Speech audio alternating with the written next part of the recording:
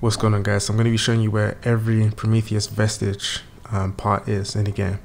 So this one is going to be right here on the map. Um, if you zoom and I'm going to zoom into the map in a second, you'll be able to see exactly where it is.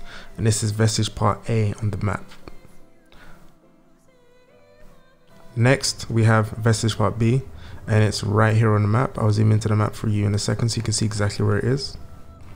Bam. So it's here on the map. It's not really hard to get to, um, but there are enemies surrounding it. So just go to here on the map and you'll find Vestige Part B. Vestige Part C is behind this barrier here, but it's filled with enemies, so you're going to need to kill all of the enemies which are surrounding this area real quickly, just so you don't get into any hassle picking it up. And then it's literally right here, Prometheus Vestige Part C. And here it is on the map. That's a real gem.